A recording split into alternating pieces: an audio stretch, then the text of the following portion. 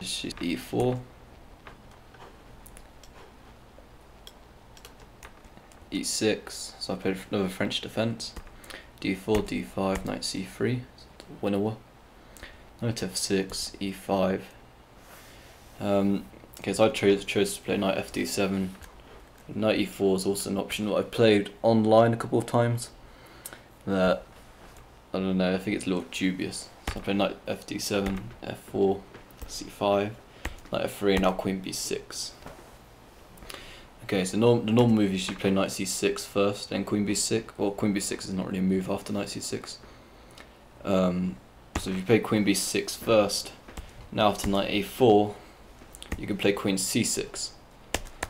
Before if you go knight c6, bishop e3, and now queen b6, which is not very popular this line, because now after knight a4, you have to play queen a5 check, c3. Um, and now something like c4. And this gets a bit congested. So the idea of playing queen b6 first is now after knight a4, because it will bishop e3, then the pawn on b2 is hanging. So knight to a4, and now I can play knight uh, queen c6, attacking the knight and preparing to play b5. So now Maria played c3. So now the queen protects the knight. And now I want to play c4 with the idea of playing b5. Um, so now b3 is played. So after b5, um, Maria can play knight, b, knight b2.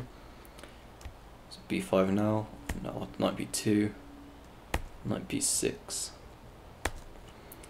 Okay, so taking on, well I can take on b3 but because now I'm threatening to take on c3. And after queen takes a6 to defend this pawn, and after a4, I just don't have enough time. And I need my knight to already be at this square now.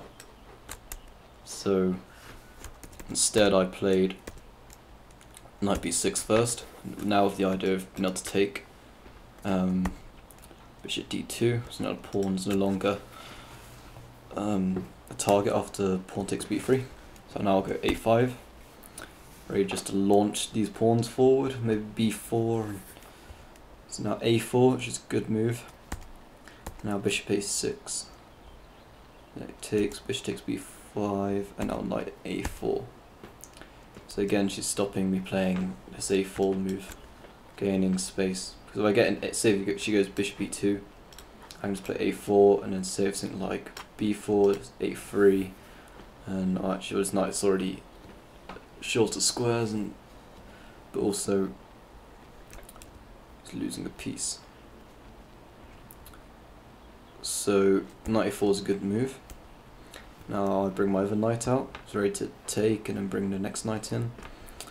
Bishop to c1, so you have to come and swap off my good bishop for a bad bishop.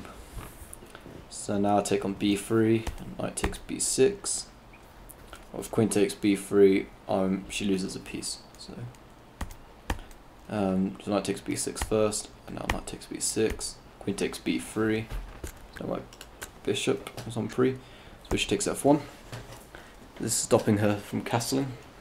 Rook takes f1 and now a4, getting time on the queen. And now was a little worried about her playing f5 at some point, especially now the rook's on f1 and the knight can jump into g5. So I just played g6 here, stopping those ideas. And now knight d2, bishop to b4. So can't, bishop can't be taken because the queen's pinned.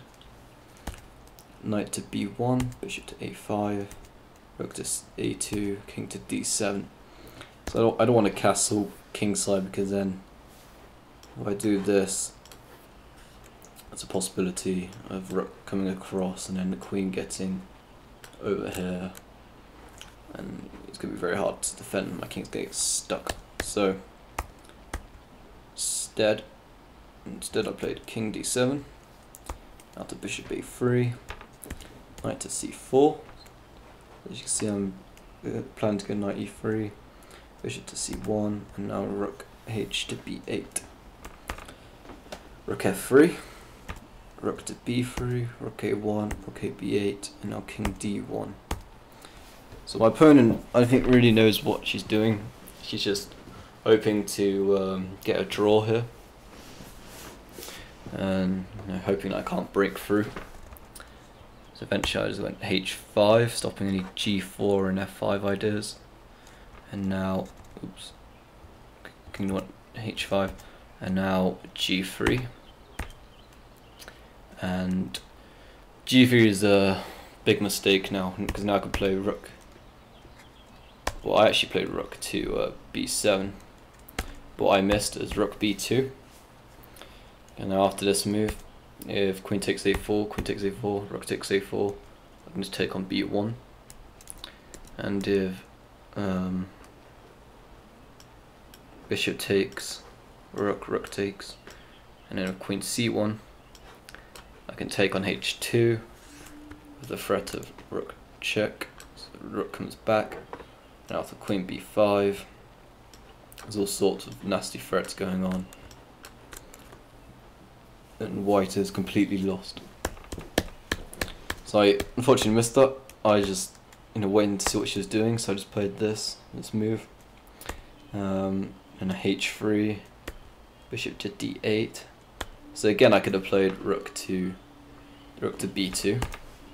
I keep missing it bishop to d8 and after rook f2 this is finally finally I see it now rook f2 now I'm just picking up a whole rook as well so on the point of this move now is if bishop takes I can just play knight to e3 check win the queen okay so my opponent actually did play bishop takes b2 um, and now after knight e3 check, king d2, knight takes c2, queen takes c2, queen b5, taking the bishop, and after king c1, bishop b7, I'm looking to get this a pawn going. Rook a2, queen to d3, knight to d2, a3. Obviously, bishop takes a3, I can just play queen takes c3. So should have to go back to well, she could play bishop a1, but well, she took on a3, and after queen takes c3, king d1.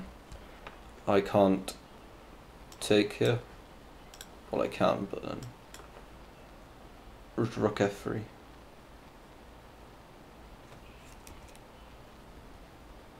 So I played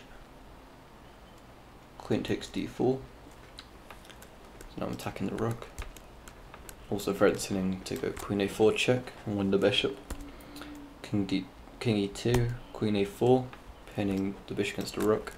Rook f3, rook a7, bishop takes e7, bishop take queen b5 check. And with the check now I can capture the rook with my rook instead of the queen. I get the rook into the game. So rook d3, rook takes a2, bishop d6. Now h4. So the idea of this move is just to break up these pawns and so after g4 I can bring my rook to a4 and attack, start attacking these pawns and you know, maybe bring my rook to e4 check. So king e3, queen b6 check, king f3, queen to g1 and now you see how useless pawn is now threatening queen g3 check. Um, so after knight b3, queen g3 check, king e2, queen g2 check, king e3, and now rook e4, checkmate. So it took a while to win in the end, and Maria is always a hard player to break down. She just fell apart with the rook f2 move earlier on. Although I kept missing this, this whole idea of going rook b2. So only after she put rook on f2 I, I saw it. So it was a good game nevertheless, and thanks for watching.